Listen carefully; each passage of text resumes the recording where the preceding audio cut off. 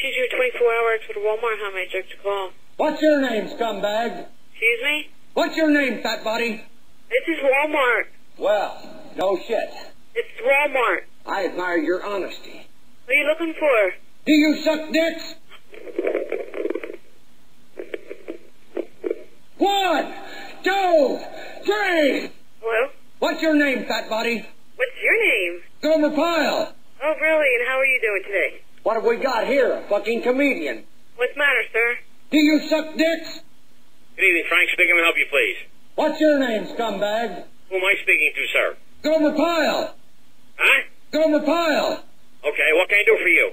Do you suck dicks? Okay.